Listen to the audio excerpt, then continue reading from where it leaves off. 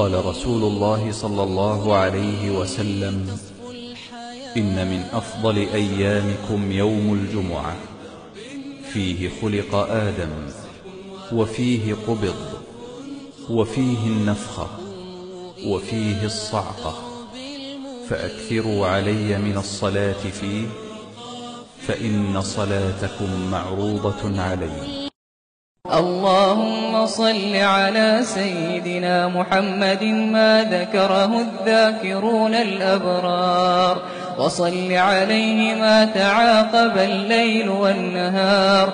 اللهم صل عليه وعلى آله وعلى المهاجرين والأنصار. اللهم صل على سيدنا محمد ما ذكره الذاكرون الأبرار. وصل عليه ما تعاقب الليل والنهار.